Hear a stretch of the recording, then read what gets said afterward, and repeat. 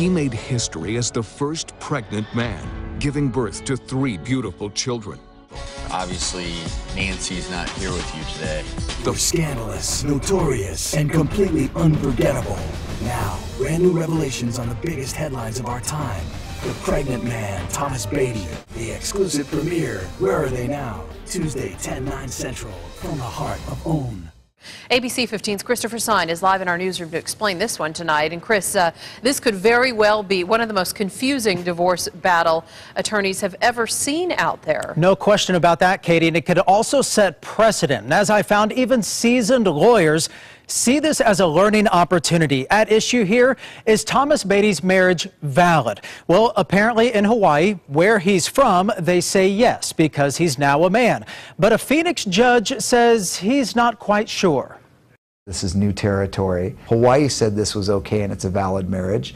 Who is Arizona to say, well, we're going to ignore one of the other 49 states and say this is not a valid marriage? A Phoenix judge now wants to know if the marriage is real because Thomas has childbearing organs, but legally is a man, complete with a new birth certificate, social security number, and passport. If his marriage is not valid, he doesn't have to pay spousal maintenance. He actually financially does better if the marriage is invalidated. He doesn't want that. The problem is if the judge does not grant this divorce and annuls the marriage, in essence, their children will become illegitimate. It's a new issue, and the judge is trying to figure out whether he has jurisdiction or not. This is new ground. The marriage would eventually crumble, creating what is a milestone divorce case, part of a transgender divorce case that is unique, if not historic this is going to potentially affect millions of transgender people and their ability to marry. It doesn't matter what parts I have. I mean, I have had gender reassignment surgery um, with,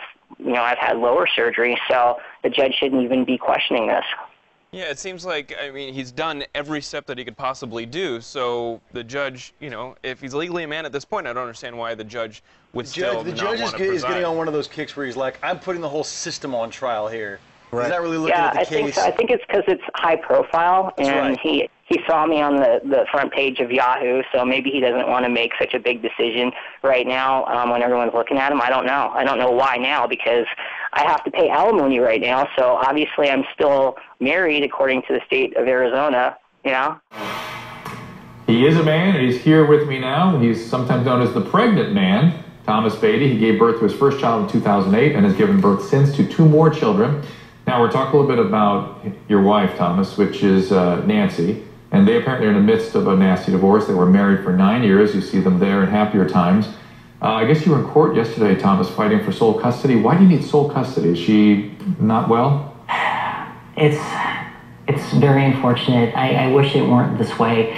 Um, unfortunately, she's had some issues with, with addiction and alcohol, and it's made it so that she's unable to effectively parent at this point. And I feel that the best place for the children, the welfare for the children, is with me. We're going to look at a videotape. You, me, and the whole and the audience here. This is his wife Nancy in this video. Now, in this video, Tom says Thomas says she is abusing alcohol and prescription pills. It's a difficult video. It's it's a little bit disturbing. Take a look. What's wrong, Nancy? Well, Nancy just fell over by herself in the hallway. She's intoxicated with something. Alcohol, pills. I suspect it might be both, but she can't even stand up. Nancy is intoxicated, severely intoxicated on drugs. It's either um, Xanax, Valium, or other prescription medication that she purchased from friends or acquaintances or strangers, and she might be on vodka as well. She tends to drink like a gallon of vodka a day. So this is what that looks like.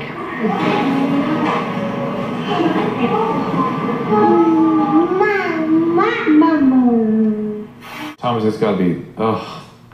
I, it breaks my heart because I know how much better she could be. It, it's hard to watch that video. It, it's very emotional for me because I truly want her to get better. And now, because she has failed enough times, it becomes time there where you have to bring the axe down and protect the kids. Right. I mean, part of the reason why I filmed that was to show her that this is what it looks like when she's under the influence. And, you know, there's a lot of denial going on, and I, I hope that by seeing this, she would reach out and get help.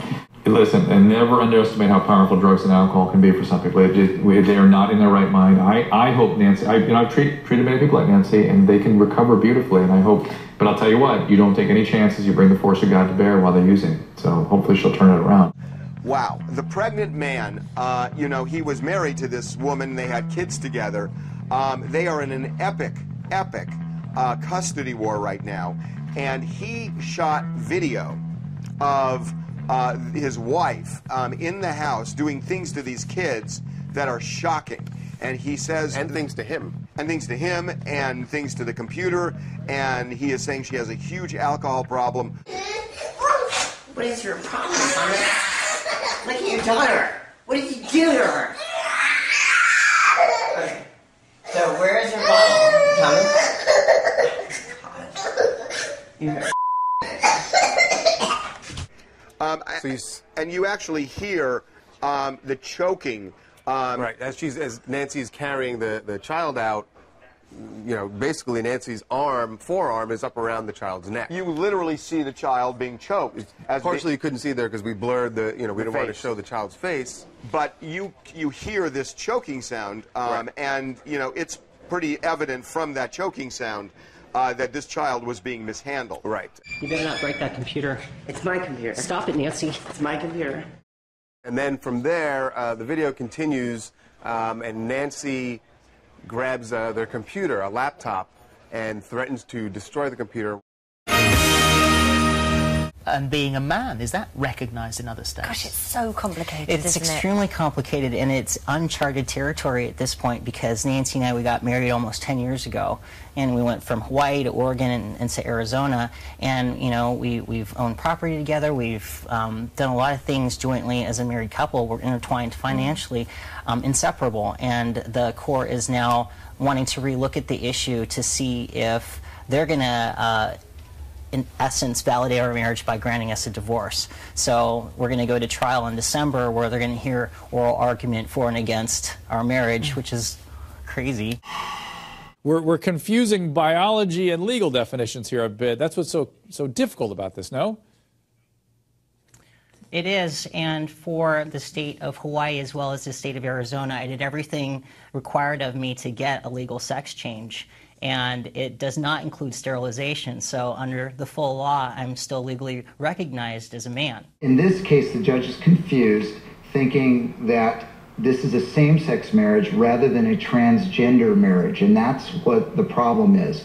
Thomas is in a traditional marriage, a man and a woman. Yes, he used to be a woman, now he's a man. That should be the end of the, the argument. But because sterilization was not mandatory, this is where everyone's confused in the difference between the law and the dictionary definition of man and woman. Got it. We're fighting for Thomas's validation. It's a valid marriage, he's a valid male, he's a valid person, and that's what this fight is all about.